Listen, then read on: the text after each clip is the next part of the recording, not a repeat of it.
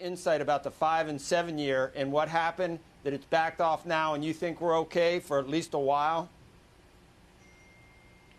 Well, Joe, first of all, I want you to put your seatbelt on because we move pretty fast in this show. You know, I know you're a little used to getting up earlier and going to bed or being on the golf course about now.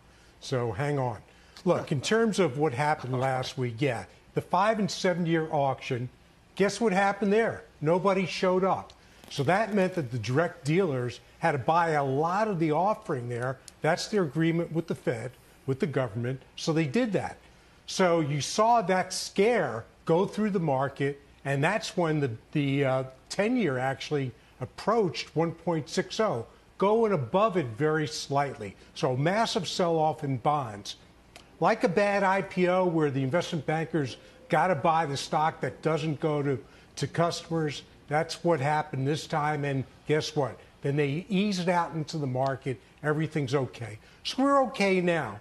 But going forward, you're going to have another auction coming up in a week. Same thing. We'll see what happens. This time it'll be the 20 year and or the 30 year rather, and we'll see how the market takes that. Don't forget we've got to fund Biden's 1.9 trillion dollar COVID relief plan, assuming that gets through the Senate, and I believe it will.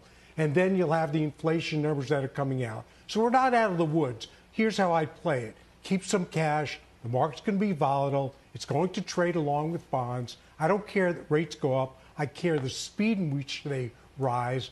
I think we've got that under control now, but still, there'll be opportunities. I still like growth. Nothing changed. Nothing, nothing changed in the long term. We're going to still see GDP going out a year over 7%. So, look, I think it's a great environment for investing right now. All right. So that was you moving fast. That that uh, like like you warm. Okay. All right. Shannon, uh, you say everyone needs to take a step back. This is a return to normal. This, this, is a okay. This is a return to normalcy. Uh, not to worry. Yeah, I think if we Look, go back I, I to don't what think we were concerned been about. normal. Shannon. Sorry, go ahead, Shannon. Okay. I was just going to say, I don't think anything has been um, more clear over the last couple of months is that this is exactly what we were looking for. When the yield curve was inverting and we were talking about entering a Japan like deflationary spiral, if you had told everybody in the market at this point that we'd be looking out over the course of the next year and we'd have a return to cyclicals, we'd have a return to small cap, we'd have a return to inflation, all of these things, and most importantly, to economic growth that has been fueled by massive stimulus, we should be happy. I understand that the that investors were concerned about the pace last week, and Steve talked a little bit about the technical aspect of the auctions and, and how that affected what was happening on the yield curve. But I think if we look forward over the next year and a half or so, as you're looking to to put your portfolio together, this is an excellent opportunity to balance the, the, the reflationary rebound that we're seeing in the next couple of quarters with companies that you want to own over the long term. We're not just in this rebound to the consumer. We're not we're in a longer term manufacturing rebound.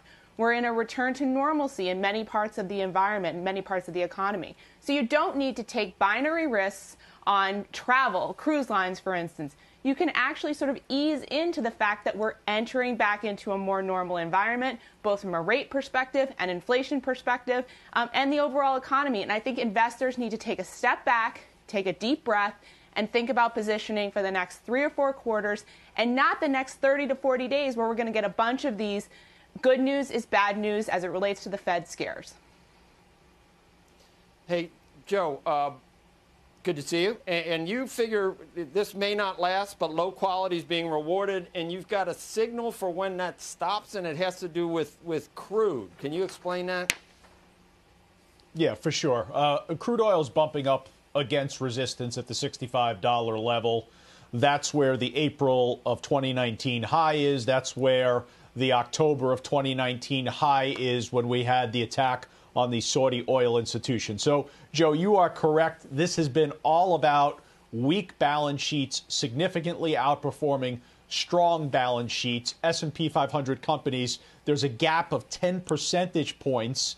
That's the biggest outperformance we've seen since 2009. So when does it shift back towards quality being favored? The critical indicator for me is going to be crude oil.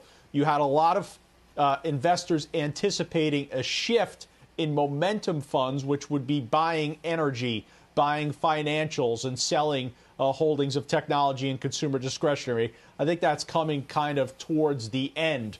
Um, so, oil to me is the critical indicator. And one last point, Joe. Listen, let's not dismiss something that happened in the last 72 hours that is really powering this market higher. I know it's the J&J vaccine that's grabbing the headlines, but did anyone think that President Biden was going to be able to get close to 1.9 trillion dollars for his fiscal spending? The estimates from the investment banking community were 700, 800 billion at best, 1.9 trillion or very close to that. You know what? I think the market needs to begin to price in the next spending bill, which will be an infrastructure bill, and that'll be a trillion and a half to two trillion dollars. That's not priced into the market.